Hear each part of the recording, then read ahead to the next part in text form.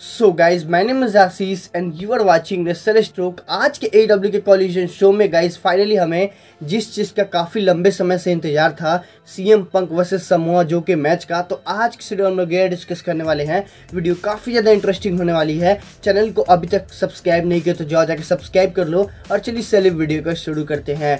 Well guys अगर आपने first A W Collision show को देखा होगा तो मुझे आपको बताने की आवश्यकता नहीं है। लेकिन गाइज़ राइट नाउ आज के ए डब्ल्यू के कॉलिजन शो में हमें ये singles match finally big dream match देखने को मिल रहा है।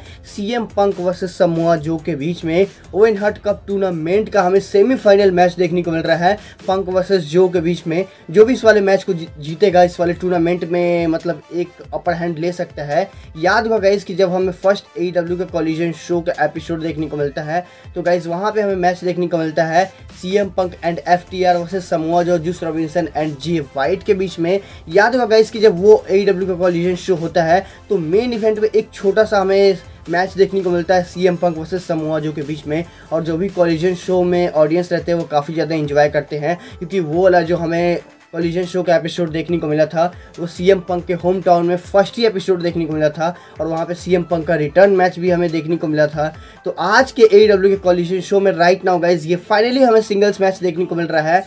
पंक वर्सेस समूह, जो के बीच में मेंस टूर्नामेंट का हमें सेमीफाइनल मैच देखने को मिल रहा है, ओवेन हट कप टूर्नामेंट का।